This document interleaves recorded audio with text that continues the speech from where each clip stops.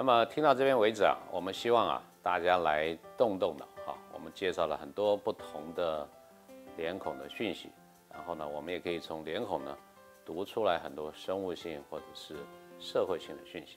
这边我们就要请大家动动脑哈，啊，发表一下你的意见啊。我们非常欢迎大家都能够上网到我们的讨论区啊，来谈谈你的看法。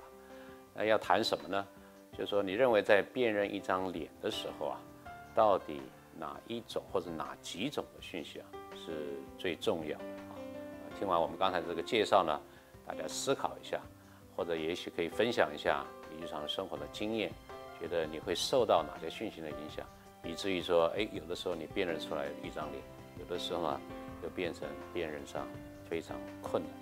欢迎大家来上网发表你的看法，来一起动动啊！